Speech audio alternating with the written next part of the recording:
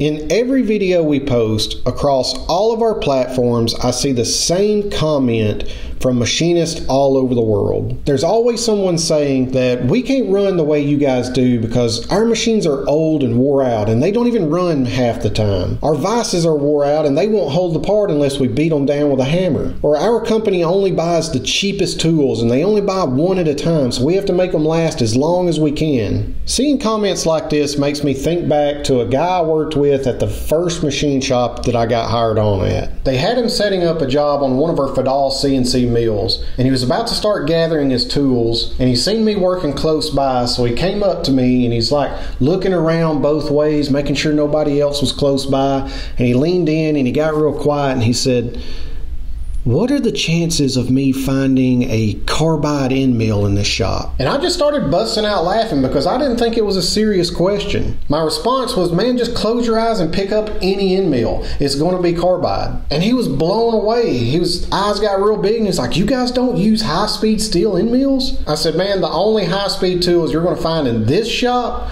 are going to be your common twist drills. Other than that, we run all carbide. And he couldn't believe it because all they ran was high speed steel. He said, Man, at my shop, if you found a carbide tool, you snatched it up and ran away and hid it in a cave like Gollum on Lord of the Rings. And I couldn't understand that because at the time, this was the only machine shop that I had worked in, so it was the only thing that I really knew. I thought that high speed steel at this day and age was only used in schools. I couldn't believe that real machine shops were still using tooling like this. And what's really mind blowing is fast forward to nearly 15 years later, and I still see comments from all over the world of machine shops that are still ran in the same exact way. So, seeing this being such a common thing in today's world leads me to ask the question at what point does refusing to spend money on tools, equipment, maintenance, or new technology shift from saving you money to costing you money as well as growth? How bad does it have to get before these shop owners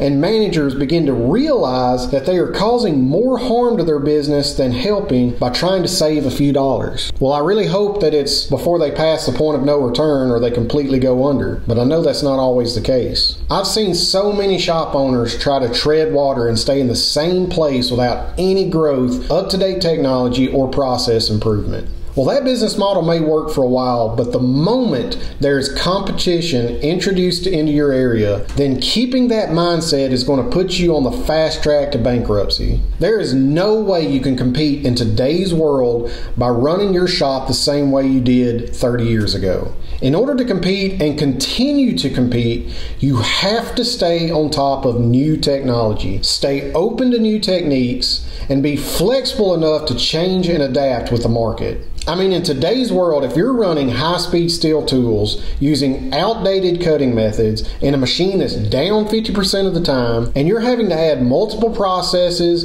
and adjusting work offsets constantly and things like that because your machine can't hold tolerance and your fixturing doesn't repeat or hold your parts well, then you're going to be in serious trouble if a shop opens up next door that has decent equipment uses rigid tool holders and good carbide tooling. They utilize efficient machining methods, which may be 300, 400, or even 500% faster than what you're running. That company may have a higher shop rate than your company, but overall, they're going to be able to make parts faster and cheaper than you will, especially with higher quantity orders. Even their shop culture is going to be better because being more efficient is going to allow them to take on more work, which will result in higher pay and job security for their employees. And eventually, your employees are going to be polishing their resumes up trying to get into the door of that company. The company that I just mentioned that I used to work for had the highest shop rate of anyone else in the region, but we stayed covered up with work. We bought good tooling, we bought good equipment, we kept the maintenance up on everything. All this stuff was very expensive to the shop owner, but it allowed him to get more and more work, and it allowed us to do work faster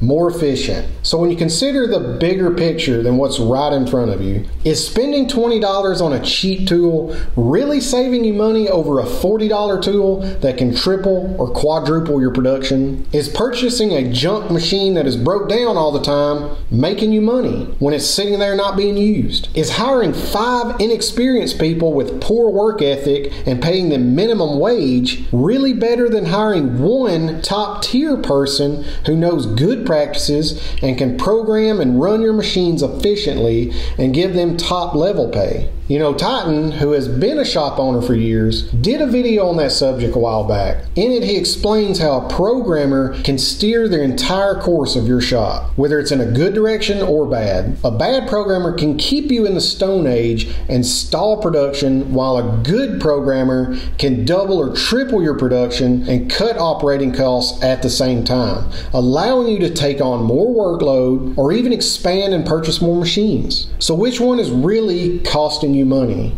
Now, I'm not saying just go throw all your money into the business and get head over heels in debt because action without thought is careless, but thought without action is worthless. So it's important to take a step back and try to truly understand how this trade works and how money is made in it. Can cheap, low quality tooling do the same thing as more expensive, better grade tooling? For the most part, yes but can it drastically reduce cycle times and increase tool life at the same time? Can a worn out machine that is constantly needing repairs do the same thing as a new machine that has a monthly payment tied to it? Maybe, with a good enough operator in front of it. But can it keep up with production demands? So I want to know is saving money by refusing to invest in good equipment and good personnel really worth it if you're having to sacrifice your success in order to do it? I want to know your thoughts. Do you agree or do you disagree?